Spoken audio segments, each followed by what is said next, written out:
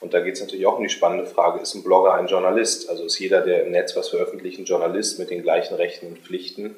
Ähm, wo wir merken, wie schwierig das ist, da eine Definition zu finden und jetzt gesagt haben, nur diejenigen, die berufsmäßig an der, an der öffentlichen Meinung mitwirken, haben dann auch die gleichen Rechten, aber auch die gleichen Pflichten wie ein Journalist. Und wir haben natürlich den Wandel im Journalismus selbst auch. Also früher war der Redaktionsraum frei, auch von Durchsuchungen und äh, von Strafverfolgung.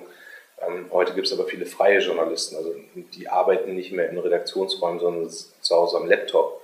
Ähm, damit gibt es da auch eine neue Situation. Ähm, ich will ja gerade, dass freie Journalisten dieselben Rechte haben wie die Journalisten in den Redaktionsräumen. Und ich möchte auch, dass Blogger, die hauptberuflich sozusagen im Internet unterwegs sind, dieselben Rechte haben wie ein Journalist. Also vor der Frage Strafverfolgung, Zeugnisverweigerungsrecht.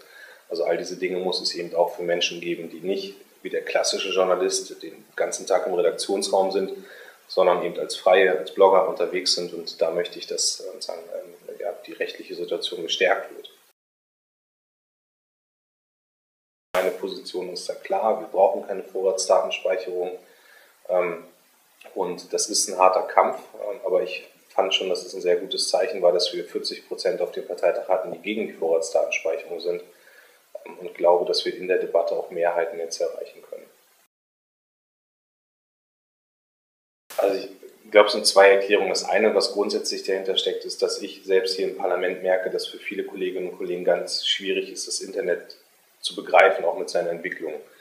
Ähm, und natürlich haben wir heute Probleme in der Strafvermittlung, auch in der Strafverfolgung, auch durch das Internet. Da müssen wir auch ganz sachlich darüber diskutieren, wie man da Dinge lösen kann. Ähm, aber es gibt dann immer ganz schnelle populistische Antworten. Ne?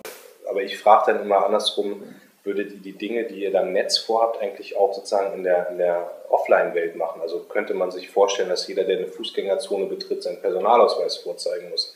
Oder dass überall gefilmt wird, dass überall alles dokumentiert wird und da sind die Leute dann schon nachdenklicher an der Stelle.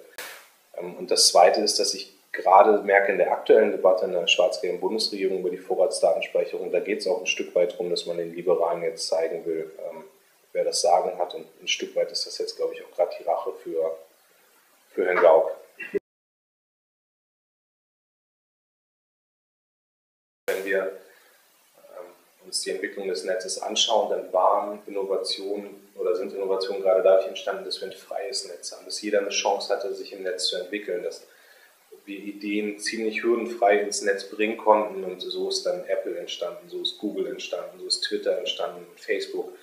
Ähm, und die, die große Befürchtung, die wir natürlich haben, ist, dass gerade Inhalteanbieter und Infrastrukturanbieter, ähm, dass die Kooperationen schließen. Also da gibt es ja immer wieder auch Gerüchte oder Überlegungen, die auch mal halböffentlich geäußert werden, ähm, und dass so zum Beispiel das nächste YouTube verhindert werden kann oder das nächste Twitter verhindert werden kann.